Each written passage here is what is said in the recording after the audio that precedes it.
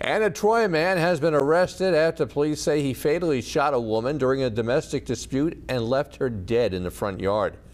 Today, Troy police rushed to the 100 block of North Ridge Circle after receiving reports of someone being shot. When officers arrived, they found 59-year-old Essie Meadows in the front yard of her home, dead from a gunshot wound. During the investigation, Larvey Woods was identified as a suspect and arrested in the same mobile home park. Police say Woods and Meadows knew each other and the shooting appears to be domestic related.